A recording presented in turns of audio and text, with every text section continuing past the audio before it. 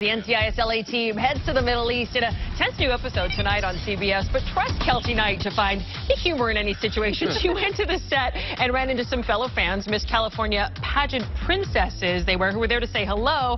But Keltie, being Keltie, decided to put them to work Thank instead you. of you doing the interviews. Listen, I want all the tiaras. They wanted my microphones. We did a little switcheroo. Everyone was happy, and we had tons of fun. Feel that. Give him a little feel of that thing. This is the future of the universe.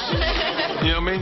Much love, ladies. Lucky Miss California winner and a few runner-ups had a little meet and greet with the cast. They get asked hard questions all the time, and I feel like it's time to turn the tables and have them start asking the questions.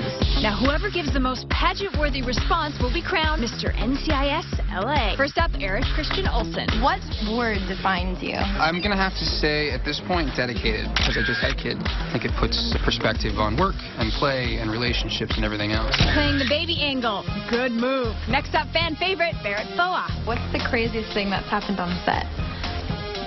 I think when Oh my goodness, you Miss can't use California now. contestants and winners Very clever. came to our set. Flattery will get you everywhere. What you say, judges? The next Mr. NCIS LA is Barrett Foa!